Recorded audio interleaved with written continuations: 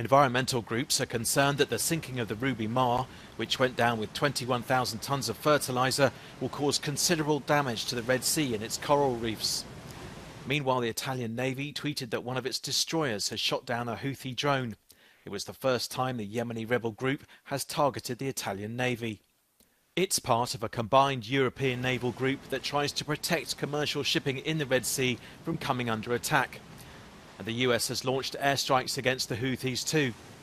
The Shiite Muslim group says it won't stop targeting shipping unless Israel stops fighting in Gaza.